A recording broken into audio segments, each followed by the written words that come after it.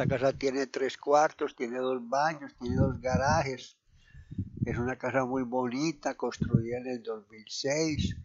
Tiene más de 1700 pies cuadrados. Está en un cuarto de acre, todo lo que usted necesita. Esta es la parte de atrás con la NAI y la puerta principal con salida. Aquí está la NAI gigantesca, totalmente cerrada. Esta es la parte de adelante con carpeta. Aquí está la cocina con todos sus electrodomésticos. Esta es la entrada a la pieza principal. Esta es la pieza principal con el baño principal. Aquí están los pasillos. Aquí está la otra pieza. Aquí tiene la ducha y la otra pieza. Esta es la, la pieza principal, la ducha y la bañera de la pieza principal.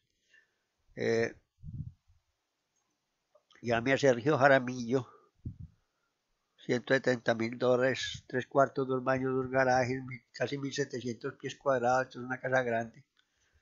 Llámenos para poderle ayudar, para poderle mirar qué le, qué, cómo le podemos conseguir un préstamo para su casa de sus sueños, de su familia. Comprar casa, todos los hispanos pueden comprar casa.